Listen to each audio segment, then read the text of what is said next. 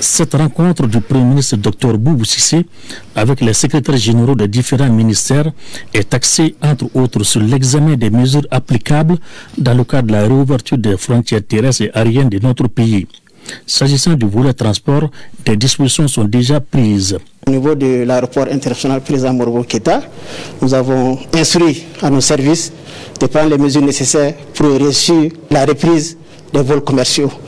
Et pour ce faire, le, le, PDG des aéroports ainsi que l'Agence nationale de l'aviation civile et ASAM ont pris les mesures nécessaires par rapport aux mesures de distanciation, mais aussi toutes les mesures qui vont permettre de préserver non seulement les passagers, mais aussi les travailleurs sur la plateforme. Selon M. Dabou, la réouverture des frontières terrestres ne saurait tarder et la date sera annoncée par les plus hautes autorités. Certes, la fermeture des frontières est consécutive au coronavirus. Grâce aux efforts de toute la chaîne de lutte contre cette pandémie, la situation évolue vers une maîtrise.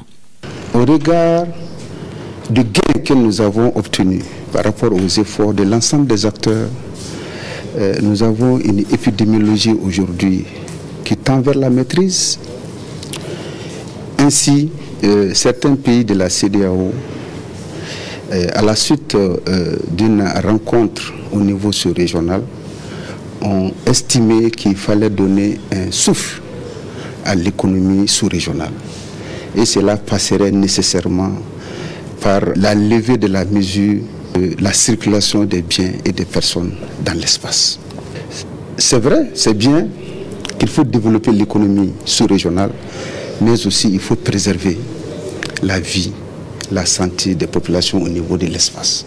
C'est ainsi que sur le plan sanitaire, il a été proposé que chaque voyageur en destination du Mali devrait se munir d'un certificat de non-contagion de Covid-19.